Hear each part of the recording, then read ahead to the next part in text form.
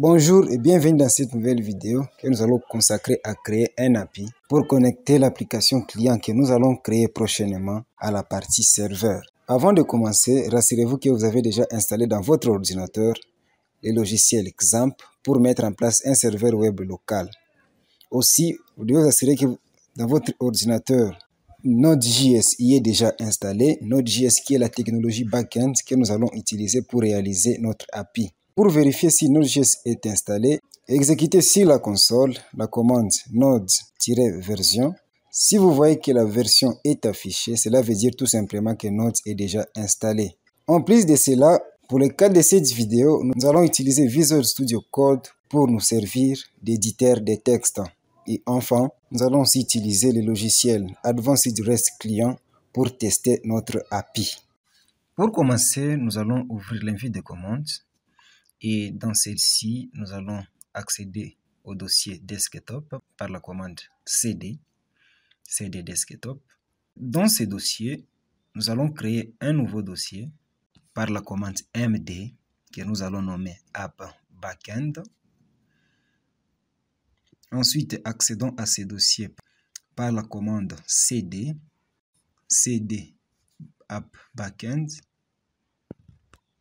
Ensuite, ouvrons ce dossier directement dans l'éditeur de texte Visual Studio Code en tapant la commande code espace point.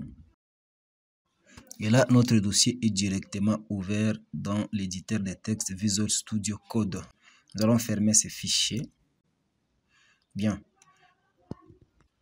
Bien, la chose suivante que nous devons faire, la chose suivante que nous allons faire ici, c'est de créer d'abord un fichier que nous allons nommer bdd.sql. Dans ce fichier, nous allons écrire toutes les instructions SQL qui vont nous permettre de créer la base de données ainsi que une table.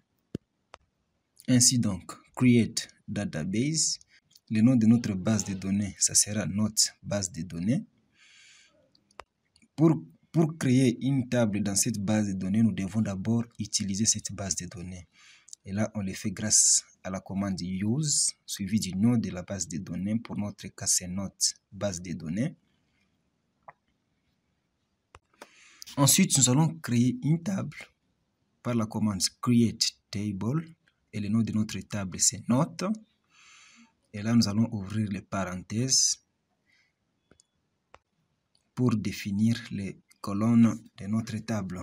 Ainsi, la toute première colonne, ça sera id, ça sera du type int.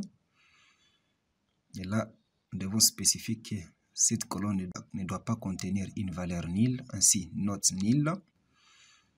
Aussi, la valeur de cette colonne sera auto-incrément, d'où l'attribut auto-increment. Nous allons placer une virgule la deuxième colonne, ça sera titre de type varchar et la taille, nous allons, finir, nous allons définir la taille à 100 et ça sera aussi note nil. On place une virgule. Euh, la toute dernière colonne, parce que nous en aurons juste trois, ça sera la colonne contenu. Ça sera du type texte.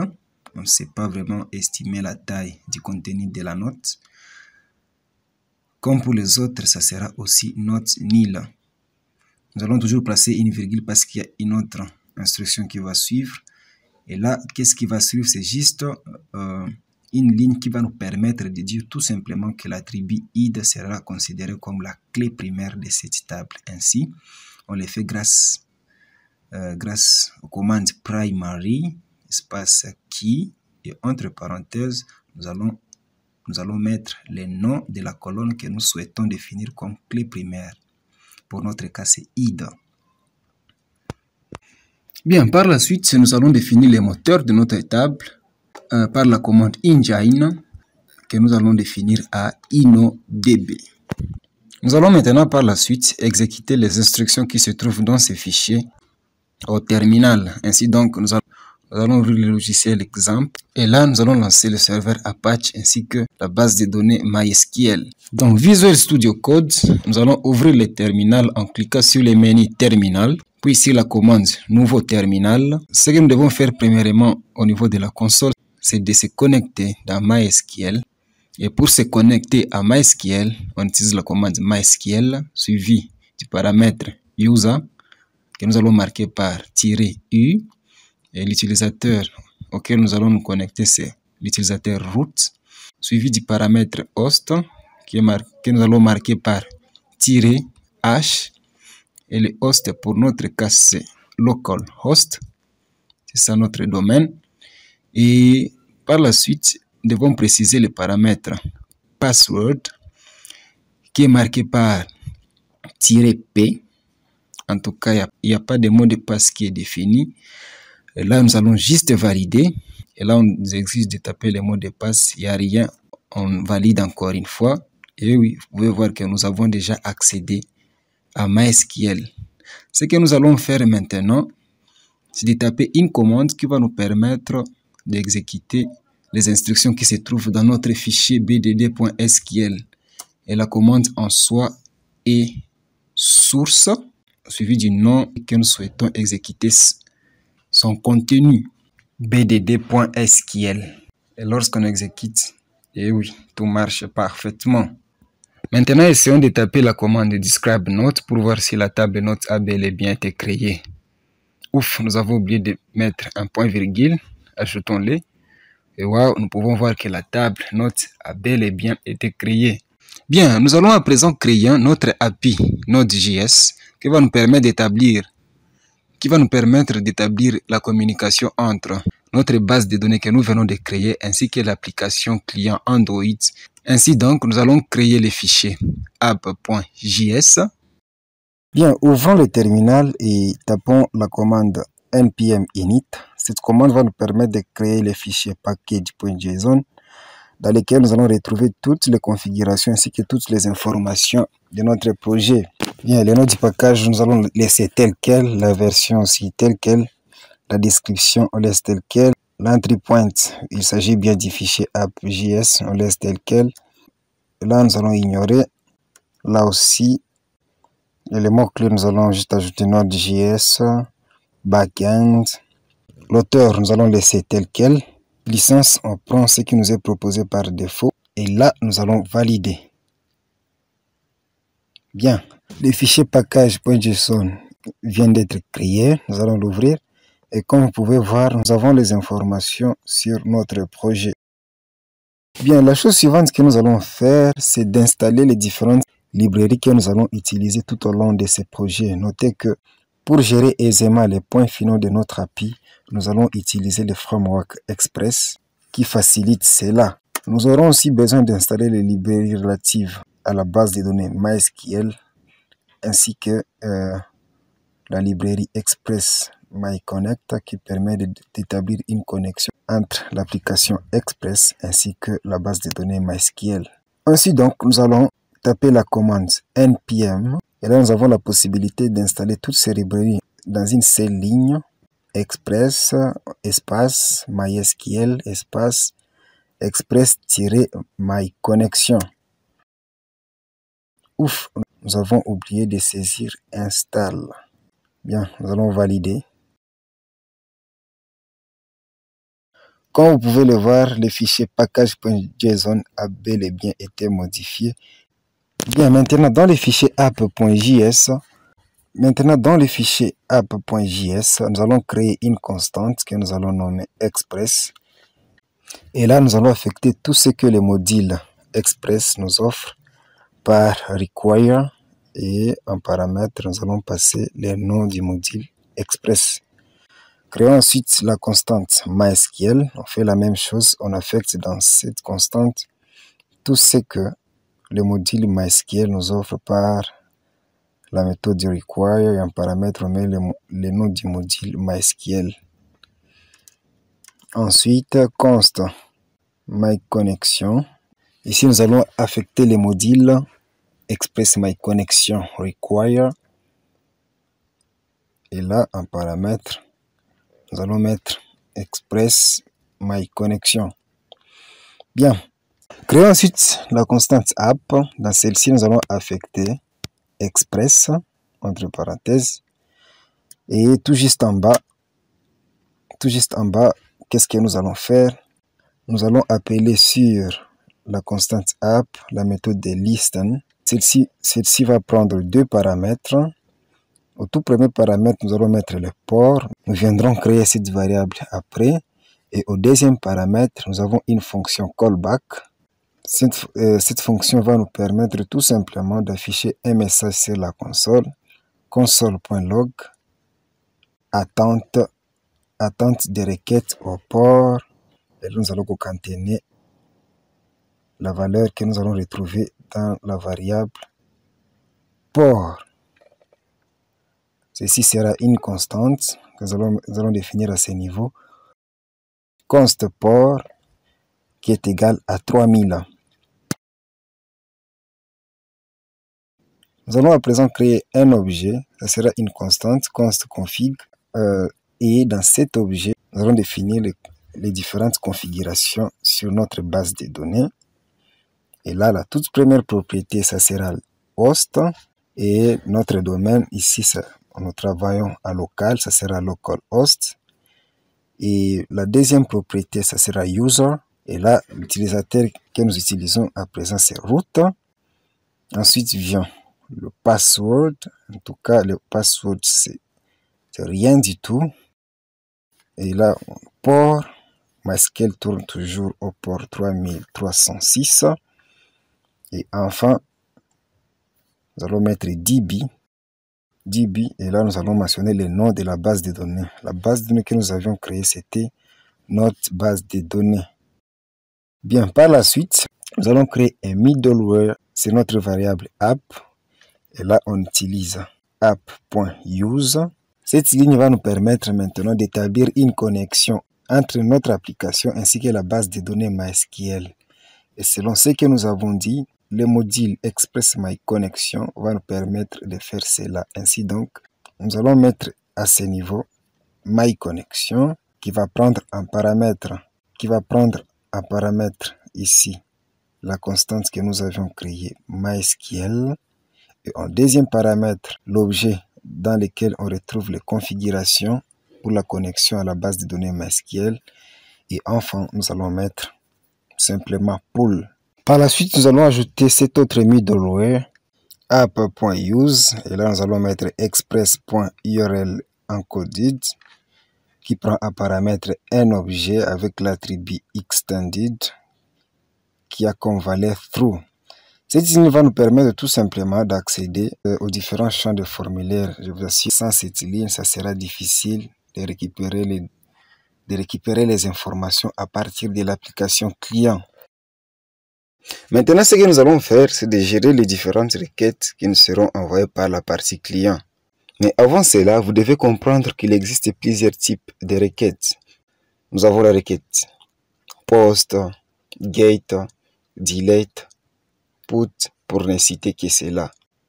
La requête post permet tout simplement d'ajouter une nouvelle ressource au niveau du serveur, tandis que la méthode get, quant à elle, permet de récupérer une ressource qui existe dans le serveur pour l'amener à la partie client.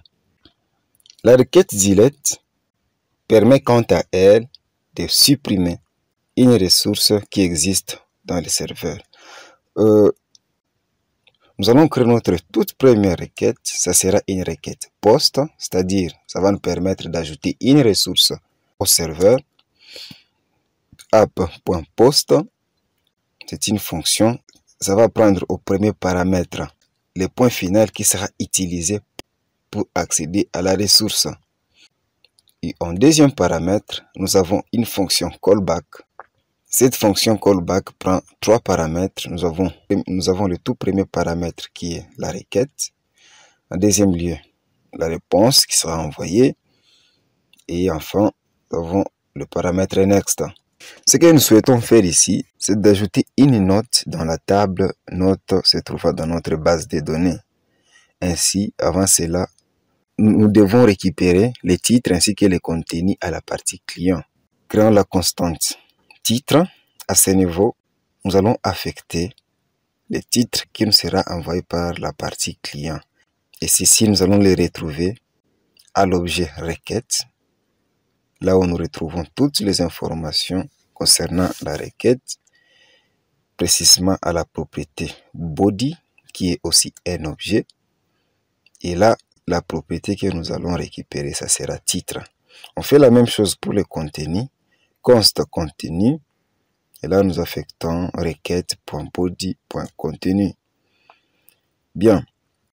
Bien, la chose suivante que nous devons faire, c'est d'avoir accès à cette connexion qu'il existe entre notre application Node.js ainsi que la base de données. Pour ce faire, nous allons prendre le paramètre requête et nous allons appeler la méthode getConnection. Cette méthode prend une fonction callback en paramètre. Cette fonction a deux paramètres, soit l'erreur peut échouer et là, nous aurons besoin du paramètre erreur. Et en deuxième paramètre, nous avons paramètre connexion que nous allons définir juste à con. Bien, dans cette fonction, nous allons, nous allons, nous allons poser une condition. S'il n'y a pas erreur, if, point d'exclamation, erreur. Là, qu'est-ce que nous allons faire? S'il n'y a pas erreur, c'est que la connexion s'est bien réalisée. Dans ces cas, nous pouvons exécuter une requête. On appelle sur le paramètre con la, la méthode query. Et cette méthode prend en, premier paramètre une requête SQL pour notre cas, il s'agit d'une requête qui, va nous permettre d'ajouter une, une, note dans la base des données. Ainsi, insert into, le nom de notre table, c'est note. Et là, nous allons préciser les, différents, euh, les différentes colonnes concernées par cet ajout. id, titre, ainsi que contenu. Pour préciser les valeurs, nous allons mettre values nous allons préparer les valeurs de cette requête en mettant d'abord le point d'interrogation. Et en deuxième paramètre, qu'est-ce que nous allons faire? Nous allons définir maintenant les valeurs, les valeurs qui seront, euh, les valeurs qui seront utilisées sous forme d'un tableau. Et c'est là selon l'ordre de point d'interrogation. Et là, comme vous pouvez voir, l'id, ça sera nil. Pourquoi? Tout simplement parce que c'est une valeur auto-incrément. C'est le système de gestion des bases de données MySQL lui seul qui s'en chargera. Ensuite, pour les titres, nous allons prendre le titre qui nous sera envoyé par la partie client et enfin le contenu toujours qui, qui nous sera envoyé par la partie client. Le paramètre suivant, c'est une fonction callback avec trois paramètres. Le tout premier paramètre, c'est l'erreur dans les cas où une erreur est levée. Le deuxième paramètre, sont les les lignes qui sont, qui sont concernées par cette requête. Là, nous allons mettre rows et, et le dernier paramètre feed pour dire champ. à ce niveau aussi, nous devons faire un contrôle if. S'il y a erreur, if error, dans ce cas, dans ce cas, nous devons définir le statut de la réponse. Réponse.statut égale à 500. Ici, notez que euh, le code 500 équivaut à un code d'erreur qui veut dire tout simplement qu'il y a une erreur au niveau du serveur. En tout cas, nous n'allons pas donner plus de détails par rapport à ça. La ligne suivante, qu'est-ce que nous allons faire? Nous allons maintenant appeler sur les paramètres réponse la méthode send. Cette méthode permet maintenant d'envoyer maintenant la réponse à la partie client. Et qu'est-ce que nous allons envoyer s'il y a erreur? Là, ce que nous allons envoyer, c'est une donnée sous format JSON JSON.stringify et en paramètre, nous allons convertir cet objet en JSON. Ainsi, la toute première propriété, ça sera précis et cette propriété aura comme valeur false étant donné qu'il y a erreur. Il y aura aussi la propriété message et cette, et cette propriété aura comme valeur le message d'erreur, ainsi erreur.message. Dans le cas contraire, qu'est-ce que nous allons faire? Nous allons toujours envoyer une donnée JSON, réponse.send,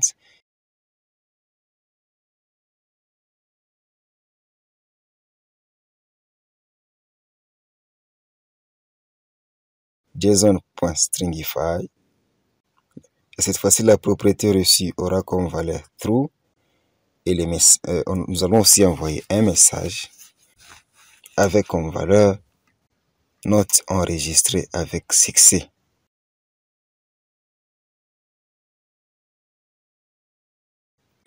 Bien, qu'est-ce qui se passera si la connexion avec la base de données n'a pas abouti, nous allons prendre le même code pour signifier, pour signifier la partie client qu'est-ce qui n'a pas marché? Bien, nous allons créer un deuxième point final. Ça sera toujours une requête de type post. Et là, qu'est-ce que nous allons faire? Nous allons juste récupérer tout ceci et les coller à ce niveau.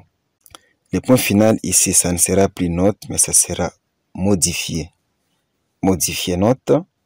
Là, nous aurons besoin, cette fois-ci, comme il s'agit d'une opération pour modifier, nous aurons besoin de savoir l'idée de la note. Ceci doit être envoyé par la partie client. Ainsi, ajoutons la constante id égale requête.body.id. Au niveau de la requête, ce n'est pas une requête insert, mais c'est plutôt une requête update. Update note. Set titre nous allons toujours mettre, nous allons préparer cette requête. On met point d'interrogation. Aussi la colonne contenu qui est, égale à un point d'interrogation. Where id égale point d'interrogation. Nous allons spécifier les valeurs qui vont qui seront utilisées à la place des points d'interrogation au deuxième paramètre dans ces tableaux selon l'ordre des points d'interrogation. Et là, le tout premier point d'interrogation, ça concerne titre, deuxième, contenu, et enfin, c'est lead. Et là, à ce niveau, au lieu, au lieu de notes enregistrées, nous allons envoyer le message note modifiée.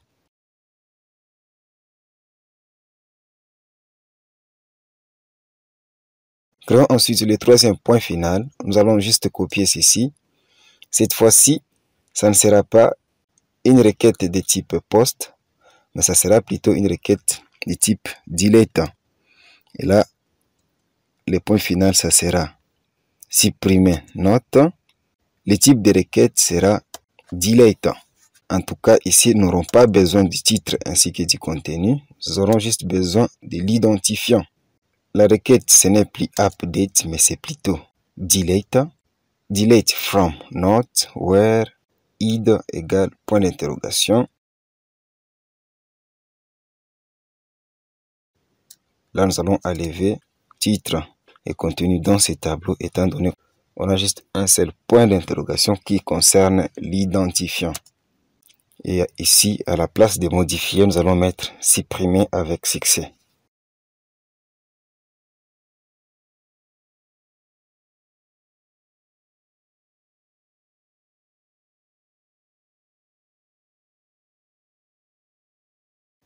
Enfin, créons le dernier point final.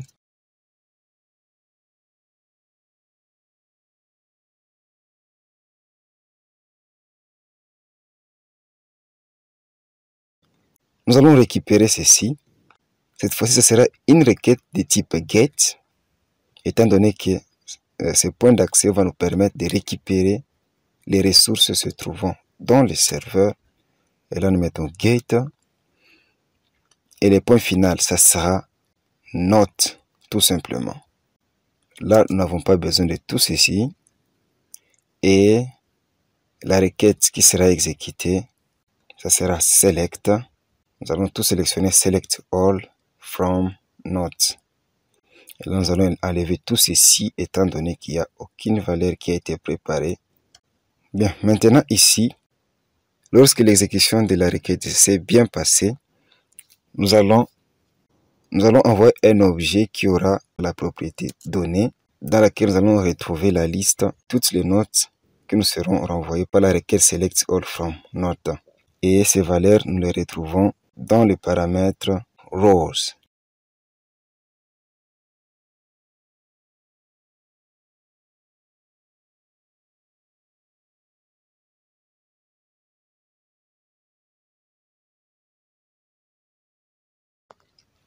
Maintenant, ouvrons l'application Advanced REST API pour tester nos différents points finaux que nous avons définis dans notre application Node.js. Mais avant les tests, rentrons dans Visual Studio Code pour exécuter notre application. Ouvrons le terminal et nous allons taper la commande Node App. Ouf, il y a erreur. Qu'est-ce qui est dit? App user is not a function à la 17e ligne.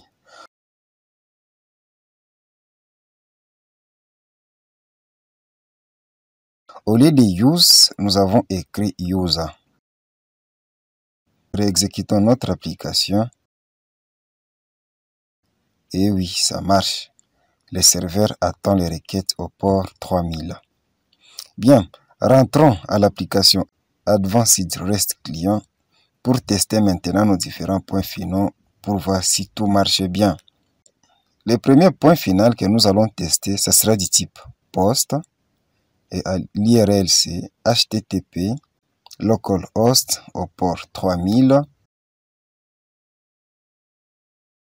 et le point final en question c'est ajouter note. Et là, nous devons définir dans body les types de formulaires. Ça sera, ça sera application xww form url encoded. Et là, nous allons ajouter les champs. Le tout premier, c'est titre. La valeur, c'est programme. Le deuxième, c'est contenu. Et la valeur, c'est organiser un événement d'essai.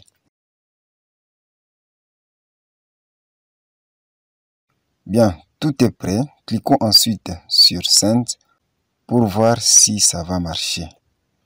Ouf, il y a erreur faux, zero faux, not found.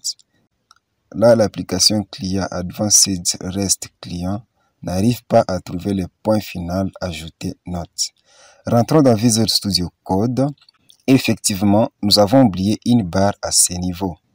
Faisons la même chose pour tous les autres points finaux.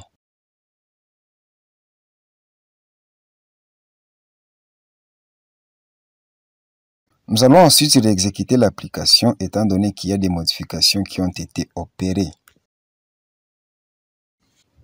Dans l'application Advanced REST Client, cliquez sur Send encore une fois pour voir qu'est-ce qui va se passer. Wow, le statut est descend OK pour dire que la requête a été bien effectuée. L'objet JSON qui est envoyé stipule que la propriété ici est false pour dire que la donnée n'est pas enregistrée dans la base de données. Et le message nous dit No database selected. Rentrons dans Visual Studio Code au niveau de la déclaration de l'objet config.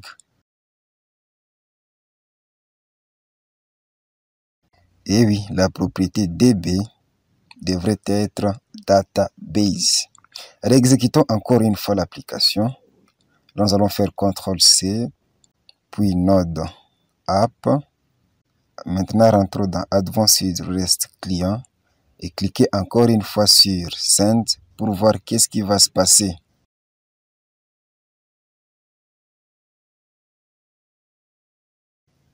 Wow, cette fois-ci, la donnée est bel et bien enregistrée dans la base de données. That is right. Nous allons ajouter une deuxième donnée. Le titre sera musique.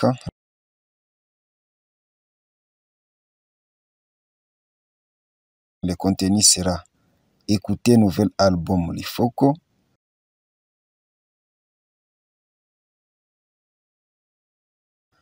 Cliquez sur Send. Ça marche parfaitement. Ajoutons une troisième donnée. Le titre, ça sera prédication.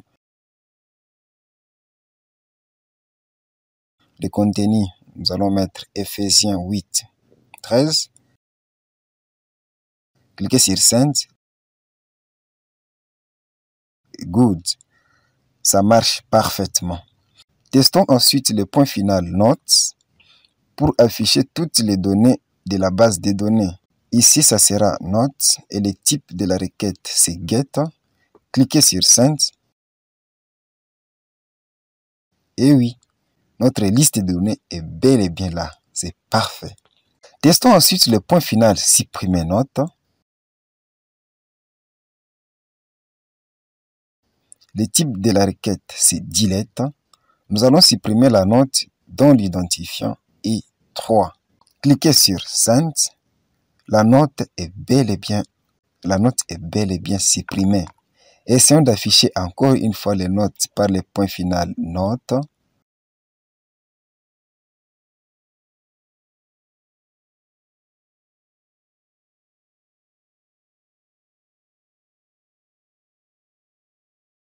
Comme vous pouvez le constater, la note dont l'idée était 3 n'y est plus.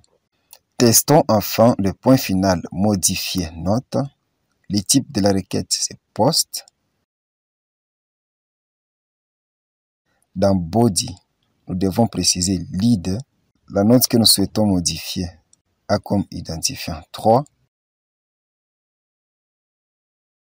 Et le nouveau titre, ça sera programme musique. Et le nouveau contenu, ça sera écouter la nouvelle chanson de Caleb Moise. Bien. Cliquez sur Send. Comme l'indique le message, la note est modifiée. Affichons de nouveau les notes de la base de données pour voir si les modifications ont eu lieu.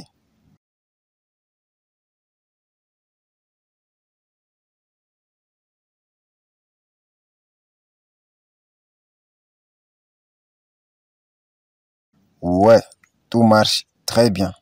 Ouvrons PHP pour visualiser notre base de données. Sélectionnez ensuite notre base de données qui est note base de données, puis la table note.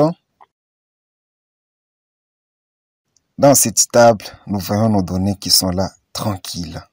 C'est tout pour cette vidéo. Grand merci de l'avoir regardé. Aimez et partagez la vidéo si vous l'avez trouvé intéressant et rendez-vous à la vidéo prochaine. Ciao